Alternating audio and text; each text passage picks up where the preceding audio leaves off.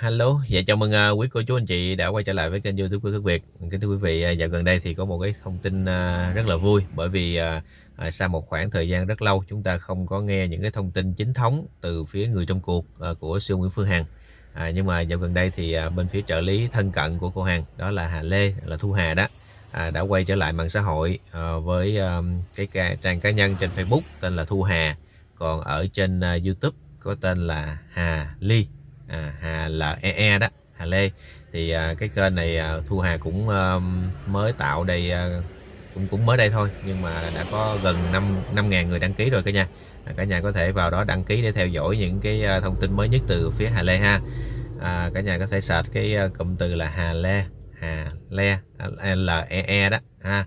À, và mới đây thì à, Hà Lê đã tiếp tục đăng tải một cái số cái thông tin xung quanh à, những cái lùm xùm trong mấy ngày qua à, bởi vì à, gần đây có một vài cái cá nhân nào đó họ đã lợi dụng à, mượn cái danh nghĩa những cái người này họ đặt cái tên á cái bằng nhái tên của Hà Lê rồi nhái tên của Hoàng Nhi hay là của thầy Quân rồi của cô Hoàng chú Dũng đó.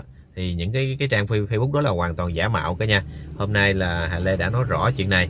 À, hôm trước thì cũng đã nói rồi nhưng mà không hiểu sao vẫn còn rất là nhiều người tin vào những cái trang giả mạo đó. À, và bây giờ chúng ta nghe à, Thu Hà Hà Lê nói một cái đoạn để chúng ta hiểu hơn về những cái con người mà đang à, giả mạo này.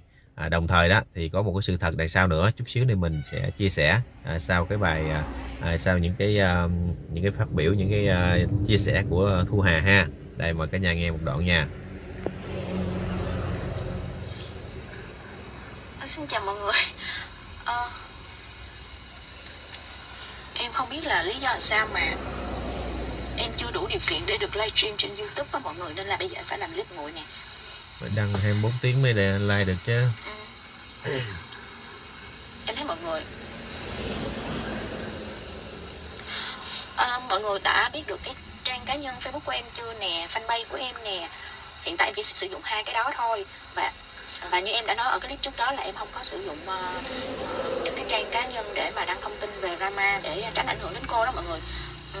thì bây giờ em cảm thấy là những người nào mà mà kiểu như là rành công nghệ á, thì người ta mới hiểu được những cái trang đó là trang giả. Còn những người nào mà ít xài công nghệ á, ít ít đọc mà đọc này đọc kia là chỉ cái tin vô những cái trang đó cứ thấy hình em thấy tên em là bắt đầu là mọi người sẽ tin đó là sẽ rất là dễ bị dẫn dắt nha mọi người. Bị dẫn dắt bởi những cái câu status là mang cái tính chất nó không có hay xíu nào mọi người thấy rõ ràng không? À, với lại những cái câu từ á cái nội dung mà đăng trên status đó mọi người thấy rõ ràng là nó sẽ rất là khác với lại cái câu từ em sử dụng. Bởi vì em sử dụng không bao giờ em sử dụng cái từ là chị hàng hoặc là bà hàng đối với em cô mãi là cô hàng thôi.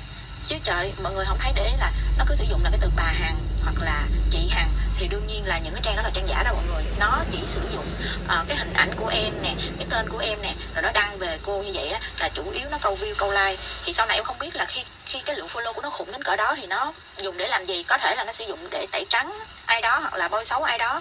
Mà cái này mình mình mình có có kiện nó được không mọi người? Chứ em à, nói chung á là cái cái đoạn đầu thì Hà Lê nói rất là rõ. À, cô chỉ à, sử dụng những cái trang cá nhân hoặc là kênh YouTube để nói những cái chuyện à, à, vui vẻ hoặc là bán hàng vậy thôi chứ không có nhắc đến drama. À, vậy thì rõ ràng những cái kênh à, hoặc là những cái cái trang mà giả mạo á thì họ nhắc rất là nhiều đến siêu Nguyễn Phương Hằng. À, thậm chí là họ còn à, công kích người này xỉa xối người kia à, làm cho bên phía à, Hà Lê cũng như là cô Hằng ảnh hưởng rất là nhiều. Đó à, nói chung á là những cái những cái lời đính chính của ờ, Thu Hà này đã có từ ờ, rất lâu ở trên trang Facebook nhưng mà có lẽ là nhiều người không có theo dõi cho nên không biết. À, dạo gần đây thì à, cái cái tần suất mà họ giả mạo nó là càng nhiều hơn à, và thu hút được một lượng rất là đông những người theo dõi à, cho nên à, Hà Lê đã quyết định là phải à, làm một cái kênh YouTube để đính chính lại thông tin này À, tuy nhiên á, những cái lời đính chính của Hà Lê nó chỉ quay quanh, à, xoay quanh những cái trang Facebook giả mạo thôi. À, chúng ta nên nhớ vậy cả nhà, là Hà Lê chỉ đính chính lại những cái trang Facebook đó là giả mạo, chứ hoàn toàn không có phủ định hay là khẳng định bất cứ những cái vấn đề gì có liên quan đến drama. Chúng ta nghe rất kỹ. Hà Lê ở đoạn đầu, đoạn đầu là Hà Lê có nói là à, Hà Lê chỉ nói về những cái câu chuyện bên ngoài về đời sống thôi, không có nhắc gì về drama. À, bởi vì rõ ràng à, tất cả những người trong cuộc à, đặc biệt là bên phía chú Dũng á, thì người ta đã xác định được mục tiêu rõ ràng là khi mà cơ quan chức năng vào cuộc à, người ta làm việc thì đợi cái kết quả cuối cùng chứ không có cái chuyện mà lên trên mạng rồi nói những cái drama. À, cho nên á gần đây sau sau cái thông tin đính chính ở trong cái video clip trước của Hà Lê đó thì lại có một số người à, nói rằng là Hà Lê đã à, đấm vỡ mặt người này tán hay là cái gì gì đó. À, nói chung là những cái thông tin rất là liên quan đến drama thì rõ ràng à, trong cái video clip lần này Hà Lê cũng khẳng định là hoàn toàn không nhắc gì về cái drama hết. Chỉ nói á, là cái trang này là cái trang thật trang kia là trang giả. Vậy thôi chứ không có cái chuyện là Hà Lê vạch mặt người này hay là gì gì đó. Ha hoàn toàn như cả nhà mình thấy rất là nhiều những cái, một số kênh YouTube, rồi ờ, trên Facebook nói là Hà Lê là ủng hộ người này, không ủng hộ người kia, rồi vạch mặt người này. Thấy tùm lum hết trơn, rất là nhiều những thông tin đó. Hoàn toàn là là là sai sai sự thật nha cả nhà có thể là người ta ờ, không biết là người ta hiểu sai cái sự thật đó hay là người ta cố tình hiểu sai hay là cố tình hướng lái dẫn dắt dư luận thì mình không biết. Nhưng mà rõ ràng trong hai cái video clip gần đây ở trên YouTube, kênh ờ, kênh YouTube của Hà Lê là Hà Lê chỉ nói về cái vấn đề một số cái kênh, một số cái trang Facebook giả mạo tên ờ, của một số người liên quan đến số Nguyễn Phương Hằng. Chẳng hạn như là Hoàng Nhi, chẳng hạn như là Hà Lê, rồi thầy Quân, rồi Nguyễn Phương Hằng Nguyễn Dũng hay là Quỳnh Hằng Hữu rồi đó đó là toàn bộ những cái trang giả mạo. Bởi vì um, như bản thân của Hà Lê đã nói đó là những người đó là hoàn toàn không có tham gia mạng xã hội nữa. À, kể từ sau khi mà cô Nguyễn Phương Hằng à, không có livestream đó. À, thế cho nên à, một số anh chị em nào đó à, nếu mà vẫn nói rằng là Hà Lê lên lên mạng lên tiếng để ủng hộ người này à, phản bác người kia à, là những thông tin đó hoàn toàn sai sự thật nha cả nhà. À, à, bởi vì á, thật sự khi nếu mà chúng ta lôi hay là chúng ta nhắc đến Hà Lê thì chúng ta chỉ nhìn quan sát dưới góc độ cá nhân.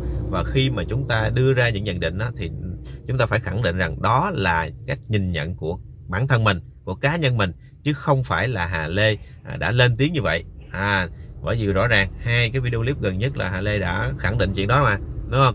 À, rồi trong đây còn một cái đoạn á, là Hà, Hà Lê nói rất là rõ những cái người mà đã lợi dụng tên tuổi hay là lợi dụng lợi dụng hình ảnh của những cái uh, những người thân cận với show Nguyễn Phương Hằng á thì đa phần là sẽ bất lợi uh, cho bên phía của cô Nguyễn Phương Hằng. Bởi vì họ hoàn toàn không có lên tiếng nhưng mà những người đó lợi dụng tên tuổi như thế này lại nhắc về drama rất là nhiều. À, thế cho nên uh, thời gian qua thì à, Hà Lê cũng bị chửi bới rồi à, một số người lại xúc phạm nói rằng cái con này lẻo mép này kia kia nọ. Đây nè cả nhà nghe một đoạn nha. Một đoạn nữa thôi.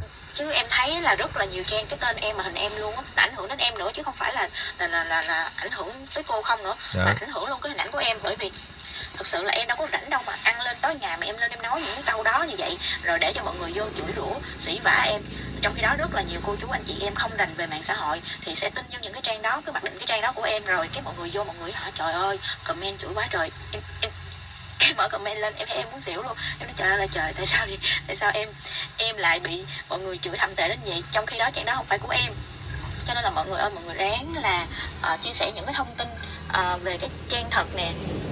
Gửi cho những cái anh chị nào mà không biết á hoặc là trong cái uh, cái mối quan hệ của mọi người trên mạng xã hội mọi người gửi đồng loạt với nhau là cái trang đó là trang giả dùm em nha mọi người chứ ừ, một số anh chị em thấy vẫn còn tin xoáy cổ về, về cái trang đó lắm đó. giống như là nó cứ đăng là ơ cô sắp về à, mọi người hãy chờ đợi này nọ à, hoặc là à, chị hằng gì tại lẽ nói chung là nó cứ ừ, đăng như vậy để cho mọi người cứ tin rồi mọi người nó giờ mọi người còn nói là à, có nói thiệt không? À, con nhỏ này nó hay nó nó hay nói xạo nó hay nói như vậy nhưng mà không có.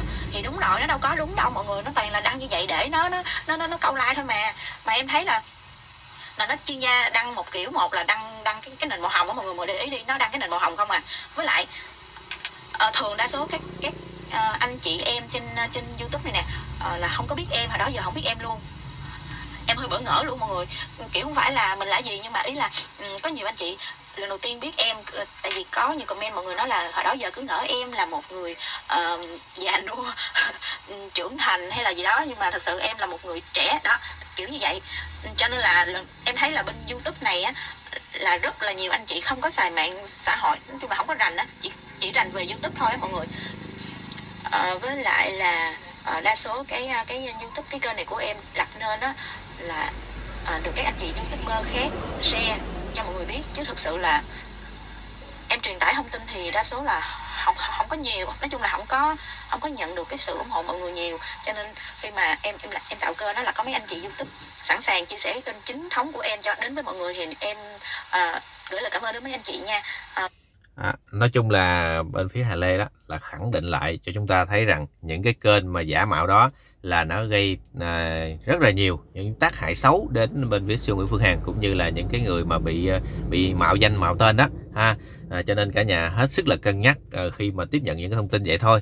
À, hoàn toàn không có cái chuyện là Hà Lê à, đứng về phía người này hay là đã phá người kia ha. Đó chúng ta à, nên, nên nên sáng suốt cái chỗ này cả nhà. À, mình thấy có rất là nhiều những thông tin chia sẻ nói rằng là Hà Lê à, à, công kích người này người kia đó là thấy hoàn toàn không chính xác ha. Rồi cả nhà có thể test lại kiểm chứng lại thông tin à, thông qua cái kênh YouTube Hà Lê ha.